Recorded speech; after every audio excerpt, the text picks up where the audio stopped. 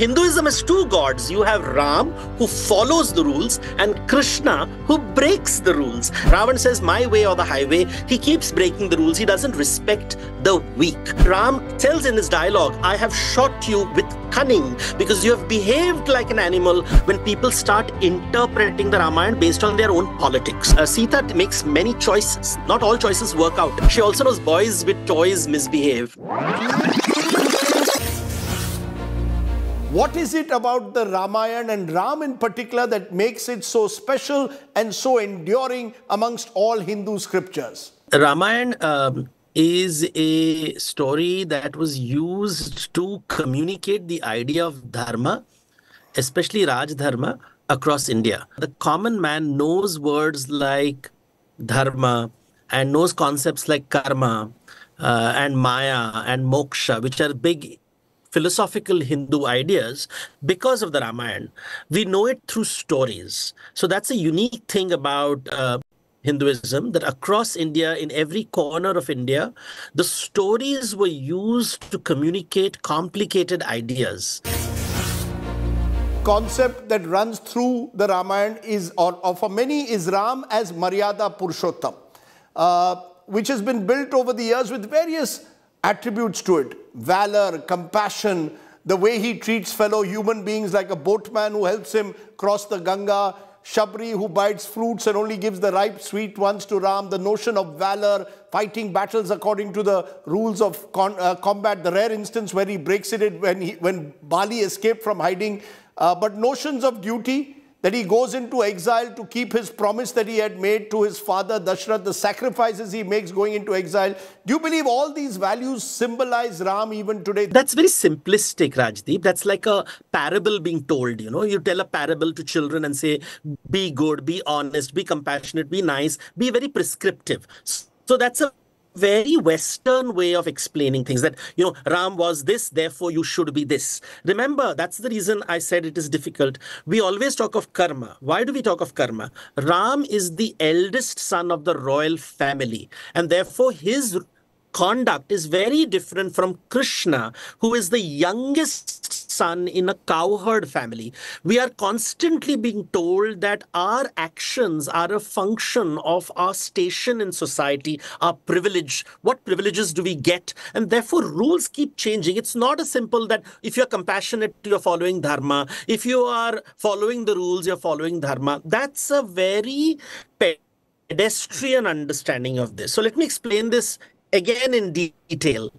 Um, you know, in uh, uh, you know, it's uh, in the Ramayana, you have got a the hero of the Ramayana, that is Maryada Purushottam follows the rule. Now he is balanced in the Mahabharata with Krishna, who is Leela Purushottam uh, uh, Krishna, which is the one who bends the rules and breaks the rules. So Hinduism has two gods. You have Ram, who follows the rules, and Krishna, who breaks the rules. So question is, rule following and rule breaking does not make dharma. And that is what they are trying to explain because this idea that if you follow the rules, you go to heaven, if you break the rules, you go to hell is a very Middle Eastern, Western idea. In India, they'll say, look at the context, look at the context. Who is for what are you talking about? Who is the mighty and who is the meek? So if you look at the story of the Ramayana, it's a very the villain of the narrative is someone who keeps breaking the rules and says my way or the highway, which is Ravan. Ravan says my way or the highway. He keeps breaking the rules. He doesn't respect the weak. Now you told the story of Vali and Sugriv, and everybody tells me about how Ram broke the rule. But rules apply in a place where everybody is respecting the law. Vali is a mighty monkey, extremely powerful monkey, and he treats his younger brother, who is weak, with contempt, which means he is the mighty who is overpowering the meek. When you are the mighty who is overpowering the meek, then you are not behaving in a dharmic way. You cannot then be uh, demand others to treat you in a dharmic way. You're behaving like an animal, the alpha who dominates the omega. And Ram tells in his dialogue, I have shot you with cunning because you have behaved like an animal, therefore you shall be treated like an animal. And that is dialogue very well written in the Valmiki is it's not about following the rules. It is about helping the weak, That's what dharma is about. Whether you follow the rules or you break the rules is not important. The question is, are you uplifting? This the word in Sanskrit for uplifting is uddhar karna. Are, are you helping the weak? Sugriv is weak in the Ramayana and Ram is helping the weak. In the Mahabharata, the Pandavas are the five brothers overpowered by 100 Kauravas. Krishna is helping the weak. So that is what we miss in the nuanced understanding of Maryada Purushottam Leela Purushottam. These very refined ideas which come to us from the Dharma Shastras. There are those who will say there are very different interpretations, different visions of Ram. There's the way North India will look at it. There is the way South India, Dravidian India will look at it. Adivasi communities look at it. There's the notion of Siyavar Ram as Sita's husband. There's the warrior King Ram. Is there a common theme or are there different interpretations across India and the world about how we view Ram? I have been reading the Ramayana uh, for the last 25 years, and there's a consistency across the Ramayana until we come to the 20th century when people start interpreting the Ramayana based on their own politics. So, suddenly in the 19th and 20th century, you have a North Indian Ramayana and a South Indian Ramayana and a Dravidian Ramayana and an Aryan Ramayana and a tribal Ramayana. These are only seen in the 19th and 20th centuries. They're not seen in the earlier versions. In every Ramayana, including the Jain Ramayana and the Buddhist Ramayana, Ram is presented as someone who is steadfast. The quality that is continuously presented with Ram is of steadfastness. And um, there are incidents in the Ramayana that trouble people, which are seen problematic. And it is always saying that, hey, Ram, you are so steadfast. Why did you do this? So nobody questions the nobility of Ram. They will question certain actions. Why did you do this? Why did you do this? And there's always this conversation. But what comes across with Ram is this principle of a steadfast man. What we call interpretations, North Indian interpretations, North is a 19th century phenomena, 20th century phenomena. Um, in the 16th century, when, for example, um, uh, Tulsidas Goswami ji wrote the Ramcharitmanas, he presented Ram as a form of the divine. Now, that was a 15th, 16th century bhakti movement where the divinity was presented through the idea of Ram and Krishna. That's only happening in the 15th and 16th century. But Ram remains the steadfast, steadfast son, steadfast king. Um, whether, as far as husband is concerned, he's always faithful to a single wife. If you go to the older works, that is the Sanskrit kavyas, the Sanskrit plays, where bhakti is not important, Ram remains the person who respects his father's decision. So we must be very careful. We should distinguish the 19th and 20th century writing, which is highly political, from more traditional writings which appear before the 19th century who exactly then is Ravan in all of this? Uh, is he to be taken literally or metaphorically as the villain? We spoke about Ram. How do we look at Ravan? Well, Ravan is a very important character in the Valmiki Ramayana. And uh, what is interesting is that he always, it's very important for them to say that he is Brahmin. He is the son of Vishrava Rishi. He's highly educated. He knows the Vedas. He is a worshipper of Shiva. Um, he is uh, expert in mathematics. He's expert in astronomy. He's expert in engineering. He's expert in so many things. So they describe this highly educated man, but not a wise man.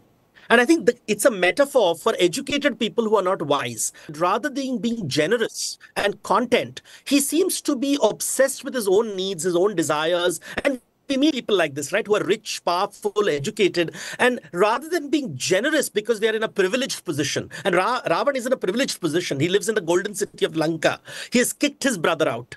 Look what he has done. He's kicked his brothers out. He only demands loyalty from his brothers, and those who are not loyal to him are kicked out again. Vibhishan is kicked out. He's not a good king. He's obsessed with himself. And that's what Valmiki is trying to communicate with us. Educated people need not be wise. Powerful people need not be wise.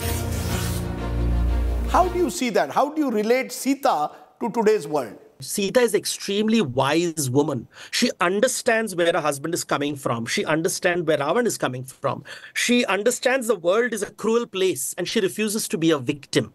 So if you look at the Ramayana very carefully, um, um, uh, Sita makes many choices. Not all choices work out.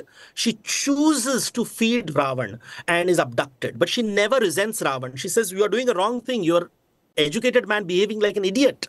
Why are you doing this? Um, when Hanuman says, Come, let's escape together, and she says, No, let my husband come and rescue me because otherwise his reputation will be spoiled. She's not a victim. 21st century feminists paint her as a victim. But I think here is a wise woman who realizes the problem of kingship. She also knows boys with toys misbehave. And she is the wise woman who's seeing Ravan, the full of ego and Ram struggling with Dharma Sankat. And I think the generosity in her is the idea that we keep forgetting. I think calling, looking at Sita as a tragic victim is a unfortunate 21st century narrative. The stories of Hanuman, what do they tell us in a way? Hanuman is one of the most powerful characters in the Ramayana because when you, I always do, again in a workshop, you ask people, Hanuman is helping Ram, helping people, helping Sita, helping. But what does he ask in return? Nothing. And he's just, he's observing how people are eager to take and are not interested in giving. And this is the conversation because later in later literature, uh, Hanuman is equated with Shivji and the 11th avatar of Rudra. And the idea is that we are all, you know, I have heard people saying, Ye to mera Hanuman hai, because he serves me. He does whatever I tell him to do. And I always ask them, Ki, Acha, aap Ram ho, kya uske liye? And then they have no answer. I said, Are you a worthy leader? We all want great followers, but are we a worthy leader?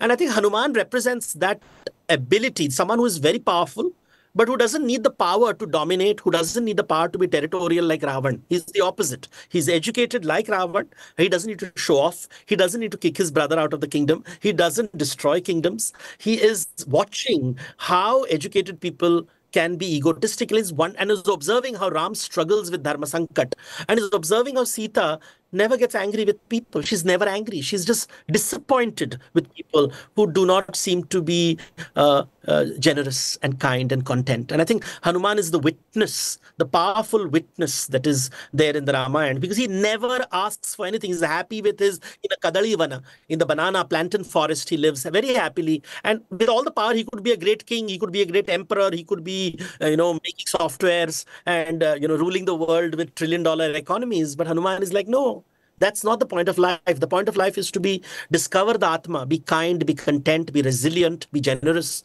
And I think that's what we learn from Hanuman. Devdutt, if there is one big idea that you believe is therefore central to our understanding of the Ramayana today, what is that big idea? the animal inside you that that which wants you to dominate that which wants you to be territorial that is adharma and that do not this whole idea of all powerful god is not an hindu concept. Judgment day is not a hindu concept. Debate rationality not hindu ideas. Hindu ideas is very simple. Are you submitting to your ego which makes you dominating and territorial or are you rising above it? And when you rise above it you walk the path of ram